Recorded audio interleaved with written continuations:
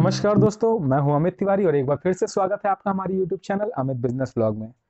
दोस्तों, आज का वीडियो बहुत बहुत बहुत ज़्यादा खास होने वाला है उन लोगों के लिए जो अपना मसाला उद्योग चालू करना चाहते हैं। बहुत से लोगों के फ़ोन कॉल्स और बहुत से लोगों के कमेंट आते हैं हमारे पास कि, सर, मसाला उद्योग में जो मसाला का फॉर्मुलेशन होता है, उसके बारे में कुछ बताइए कि उसको हम किस तरीके से बनाएँ, किस रेशियो में मिलाएँ और क्या होता है फॉर्मुलेशन एक्चुअली होता क्या है? तो आज हम उसी चीज़ के बारे में चर्चा करेंगे कि फॉर्मुलेशन होता क्या है, किस तरीके से तैयार होता है, क्या जो हम घर पे अपना मसाला बनाते हैं, जो मार्केट में मसाले मिलते हैं, दोनों में अंतर होता है। अंतर होता है तो क्यों होता है, क्या मटेरियल यूज़ किया जाता है, आज पूरी डिटेल उसी के बारे में होगी। अगर आप चैनल पर नए हैं तो चैनल को सब्सक्राइब ज़रूर कर लीजिएगा ताकि आपको हर नोटिफिकेशन हर जो हम बिज़नेस आइडिया की बिज़नेस वीडियो बनाते हैं, वो आपके पास पहुँचे। और, अपने दोस्तों को शेयर करिएगा ताकि उन्हें भी कुछ जानकारी मिले। तो चलिए वीडियो को शुरू करते हैं। दोस्तों, किसी भी मसाला उद्योग को चालू करने के लिए सबसे मेन पॉइंट होता है फॉर्मुलेशन या नॉर्मल कोई भी अगर खाने पीने वाला आइटम है या कोई भी ऐसा चीज़ है जिसको आप चालू करना चाहते हैं तो उसमें होता है स्वाद. फॉर्मुलेशन का मतलब होता है स्वाद. अगर आप एक केक बना रहे हैं केक की बेकरी की आपने शुरुआत की है तो उसमें जो स्वाद आना चाहिए, उसके बारे में आपको जानकारी होनी चाहिए कि हाँ हमें कितना परसेंट वनीला एसेंस डालना चाहिए, कितना परसेंट क्रीम लगाना है, या अगर आप बिस्किट की तैयारी कर रहे हैं तो उसमें कितने रेशियो में चीनी मिलाना चाहिए, कितने रेशियो में एग मिलता है इस तरीके का फॉर्मूला होता है। वही चीज़ से मसाला उद्योग में होती है कि जो हम मीट मसाला तैयार कर रहे हैं तो मीट मसाला में कौन से इंग्रेडिएंट्स डालेंगे जिससे स्वाद अच्छा आएगा? या गरम मसाला तैयार कर रहे हैं तो गरम मसाला में कौन से इंग्रेडिएंट्स हम मिलाते हैं जिससे थोड़ा सा कड़कपन रहेगा? जो मार्केट में मसाला मिलते हैं और जो घर में मसाला मिलते हैं। इन दोनों में डिफरेंस क्या है? बहुत से ऐसे लोगों के सवाल आते हैं कि, सर, जो हम अपने घर पे बनाते हैं, वो वही मसाला हम भी इस्तेमाल करते हैं, वही मार्केट में इस्तेमाल होता है? तो दोनों में अंतर कैसे आ जाता है? देखिए होता क्या है कि घर पे हम वो मसाला तैयार करते हैं जो हमारे पास अवेलेबल होता है उसी को मिला के बना लेते हैं अपनी ज़रूरत के हिसाब से। मान लीजिए हमें सब्ज़ी बनानी है हमारे घर में जीरा है काली मिर्च है और एक दो आइटम और है तो हमने बस जीरा काली मिर्च मिला के बना लिया। लेकिन जो मार्केट में मसाला मिलता है उसमें एक एक चीज़ बराबर रेशियो में मिलाई गई होती है। बराबर रेशियो में मिलाने का मतलब है कि आपके पास घर पे बनाया आपने आपके पास घर में जो है आ, कहते हैं जावित्री नहीं है। महँगा आइटम है भाई सबके घर में नहीं होता है। दो हज़ार ढाई हज़ार रुपये किलो मिल रहा है। तो जावित्री नहीं आपने जावित्री को स्किप कर दिया। लेकिन जो मार्केट का आ, मसाला है उसमें एक एक चीज़ बराबर रेशियो में मिली होती है। उनका स्वाद जो है जो मार्केट का मसाला मिलता है जो स्वाद मिलता है वो हमेशा आपको एक जैसा मिलेगा। आप आज लेके आए एक साल बाद लेके आए, दस साल बाद लेके आए, जो मसाले का स्वाद होगा वो हमेशा आपको एक जैसा मिलेगा। लेकिन जो हम लोग अपने घर पे बनाते हैं, आज बनाए तो हो सकता है सब्ज़ी बहुत अच्छी बन जाती है, कल बनाया तो सब्ज़ी का थोड़ा सा टेस्ट लो आ गया। तो इस तरीके के थोड़ा सा डिफरेंस रहता है, क्योंकि हम लोग बराबर मात्रा में मिला नहीं पाते हैं। उस चीज़ को क्वान्टिटी जो होती है, वो बराबर रख नहीं पाते हैं। हमने जब अपना खुद का ये मसाला उद्योग जब चालू किया तो मसाला उद्योग चालू करने के बाद सबसे बड़ा हमारे पास भी यही था मैटर कि इसमें कैसे फॉर्मूला मिलाएँ, क्या बनाएँ, लगभग दो से तीन महीने लग गए, दस बारह हज़ार रुपये भी लगे। मतलब सीखने में, सीखिए, सीखना बहुत ज़रूरी है। सीखने में हमें भी इतने समय लग गया। तो इतना बनाने में मसाला जो है, उसके बाद जो हमारा फॉर्मूला आया, वो अब हम इस गारंटी के साथ जो भी अपना सामान बेच रहे हैं, इस गारंटी के साथ कह सकते हैं कि मार्केट में कोई भी बड़ा ब्रांड हो, किसी ब्रांड का नाम ले लेंगे, जितने भी मसाले में ब्रांड चल रहे हैं उससे अब ब्रांड है और हमारा मसाले का जो स्वाद है और उनका जो स्वाद है अब दोनों से कंपेयर करा सकते हैं। बिल्कुल टक्कर का है कोई ये नहीं कह सकता कि सर ये वाला ब्रांड बहुत अच्छा है आपका वाला तो बहुत बेकार है। हम्म, दोनों का मसाला अगर आप हम अपनी तरफ़ से वो बीस ही रखने की कोशिश करते हैं उन्नीस रखने की कोशिश भी नहीं करते हैं लेकिन बहुत टक्कर में है और यही चीज़ जो है मार्केट में बहुत ज़रूरी है कि आपका जो स्वाद है वो हमेशा अच्छा मिलना चाहिए अदर ब्रांड के मुकाबले में और हमेशा एक जैसा मिलना चाहिए। यही सबसे ज़्यादा दिक्कत आती है। सबसे ज़्यादा फ़ोन कॉल्स हमारे पास यही आते हैं कि, सर, हमें फार्मूला बता दीजिए कि कैसे बनाए क्या क्या बनाए? आज हम आपको बताते हैं। देखिए, सब्ज़ी मसाला में आपका नॉर्मल सभी मसाले वैसे ही यूज़ होते हैं। धनिया यूज़ होता है, जीरा यूज़ होता है, काली मिर्च यूज़ होता है, दालचीनी का इस्तेमाल किया जाता है, जावित्री का थोड़ा मात्रा में इस्तेमाल किया जाता है और इसी तरीके के इलायची यूज़ हो जाता है। मीट मसाला में भी इसी तरीके के फॉर्मुलेशन होता है। मीट मसाले में भी कबाब, चीनी का इस्तेमाल है, कबाबा है और उसके अलावा आपका बड़ी इलायची है, छोटी इलायची है। सुगंधित थोड़ा सा मीट मसाला का फ्लेवर हार्ड होता है और तो उसमें ये सब मिलाया जाता है।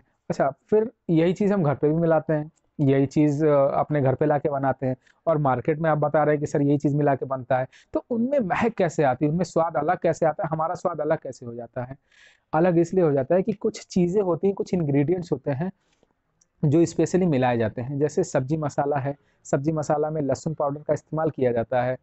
मीट मसाला है। मीट मसाला में लहसुन पाउडर के साथ साथ प्याज का पाउडर का भी इस्तेमाल किया जाता है। सोंठ का भी इस्तेमाल किया जाता है, जो अदरक पाउडर बोलते हैं जैसे घर में अदरक, लहसुन का अगर कॉम्बिनेशन बनाए तो एक अलग ही महक आती है। वैसे ही अदरक, लहसुन और प्याज जो है, इनका पाउडर का इस्तेमाल किया जाता है और गेनों का भी कई उसमें इस्तेमाल किया जाता है। इसके अलावा जैसे गर्म मसाला है, गर्म मसाले में सारी मतलब प्योर मसाले इस्तेमाल किए जाते हैं। उसमें लहसुन का या गरम मसाले में प्याज का या सौंठ का इस तरीके का इस्तेमाल नहीं होता। उसमें सिर्फ़ मसालों का इस्तेमाल होता है, जैसे जावित्री है, जयफल है, जो हार्ड मसाले होते हैं। इसमें धनिया का इस्तेमाल गरम मसाले में नहीं किया जाता है। मीट मसाले में भी धनिया का इस्तेमाल कुछ लोग करते हैं, लेकिन हम पर्टिकुलरली अपने मसाले में नहीं इस्तेमाल करते हैं मीट और चिकन में। चिकन में जो है, अब उसमें अलग तरीके का होता है। पनीर मसाला में टमाटर का जो पाउडर होता है, उसका इस्तेमाल किया जाता है। तो ये सब मसाले हैं, इस तरीके से कुछ फॉर्मुलेशन बनाना पड़ता है आपको। देखिए, कोई कंपनी अपना फॉर्मूला नहीं बताएगी। हम भी अपना फॉर्मूला नहीं बताएँगे आपको। फॉर्मूला आपको खुद बनाना पड़ेगा, आपको खुद अपने हिसाब से करना पड़ेगा। लेकिन हम आपको ये बता सकते हैं कि क्या क्या इंग्रेडिएंट्स इस्तेमाल किए जाते हैं। किस रेशियो में किए जाते हैं, ये आपके ऊपर डिपेंड करता है, ये आप अपने हिसाब से बना सकते हैं। अगर आपको लगता है कि आप बनाने में अक्षम है, नहीं बना पा रहे हैं फॉर्मूला या आप अपना मसाले उद्योग चालू करना चाह रहे हैं, जो स्वाद आना चाहिए एक आध बार हमारे पास कई लोगों का फ़ोन आया जिन्होंने अपना उद्योग चालू किया, लेकिन सर, जो मीट मसाला है या जो मुर्गा मसाला है, उसका हम स्वाद नहीं दे पा रहे हैं। कस्टमर की यही शिकायत आ रही है कि भैया, इस मसाले में स्वाद ही नहीं है। इसमें वो स्वाद नहीं है जो एक मुर्गे मसाले में होना चाहिए। तो वो सबसे इम्पोर्टेंट है। उसके लिए सर, हम आपको बता सकते हैं कि क्या क्या इंग्रेडिएंट्स इस्तेमाल कर सकते हैं। कितने तरीके के इंग्रेडिएंट्स आप इस्तेमाल कर सकते हैं, लेकिन कितना परसेंट डालना है, किसको किस रेशियो में डालना है ये आपको अपने तरीके से करना पड़ेगा। इतनी हेल्प हम आपकी कर सकते हैं कि हम आपको बता सकते हैं कि क्या कितने रेशियो में सॉरी क्या क्या डालना है, किस रेशियो में डालना है, ये आपको खुद बनाना पड़ेगा। इस चीज़ को कोई भी कंपनी नहीं बताती है और हम भी आपको इस चीज़ के बारे में नहीं बताएँगे, लेकिन आपको ये बता सकते हैं कि क्या क्या इस्तेमाल कर सकते हैं। अगर आपको फिर भी लगता है कि सर हमारा वो काम नहीं हो पा रहा है तो आप अगर हम अपना जो मसाला बनाते हैं, आप चाहें तो आप वो भी इस्तेमाल कर सकते हैं। आपको हम वो मसाला प्रोवाइड करा देंगे और जो हम अपने मसाले में पैकिंग करते हैं। और मेन चीज़ ये होता है कि हम आपको वही चीज़ कॉन्टीन्यूस प्रोवाइड कराएँगे। बहुत से लोग क्या करते हैं कि, सर, यहाँ पे चक्की है, वहाँ पे मसाला पीसते हैं, उनके यहाँ से हम लेके आते हैं। लेकिन लेके आप एक बार आए, उसने आपको अच्छा दिया। अगली बार क्या किया कि उसने कुछ चीज़ों के रेट बढ़ गए तो उसने अपना सिस्टम गड़बड़ कर दिया, आपका स्वाद गड़बड़ हो गया, मार्केट खराब हो गई। लेकिन हम जो इस्तेमाल करते हैं, हम लोग जो मसाला कमर्शियली बनाते हैं, वो हमेशा आपको एक स्वाद, एक जैसा, एक टेस्ट और एक जैसा कलर हमेशा आपको मिलेगा।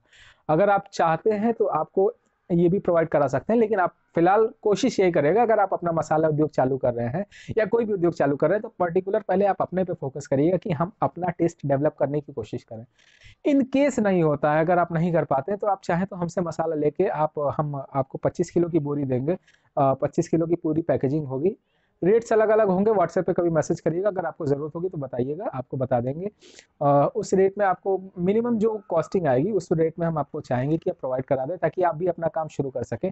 आगे चल के अगर आप शुरुआत में मान लीजिए नहीं बना पा रहे हैं फार्मूला आप सोचते हैं कि अगर हमको मिल जाए तो हम आप सप्लाई कर ले उसके बाद जब थोड़ा सा मार्केट रिस्पॉन्स आएगा उसके बाद से हम बना लेंगे तो इस कंडीशन में हम आपकी हेल्प कर सकते हैं। 25 किलो की बोरी आती है ट्रांसपोर्ट के थ्रू आप जहाँ भी रहते हैं वहाँ पहुँच जाएगा। आप लेना चाहें तो ले सकते हैं। बिल्कुल रीजनेबल रेट में आपको प्रोवाइड किया जाएगा। और आप कोशिश यही करिएगा कि जो इंग्रेडिएंट्स पढ़ते हैं इंग्रेडिएंट्स की लिस्ट चाहिए होगी तो हम आपको भेज देंगे व्हाट्सएप पे। व्हाट्सएप पे आप मैसेज कर दीजिएगा और पर्टिकुलर लिख दीजिएगा, सर, कि हमें इस चीज़ के बारे में जानकारी चाहिए, क्योंकि और भी काम हमारे चलते रहते हैं। बहुत से लोगों के मैसेज आ जाते हैं, लेकिन उसमें लिखा नहीं रहता है किस चीज़ की जानकारी दे तो फिर थोड़ा सा डिले हो जाता है।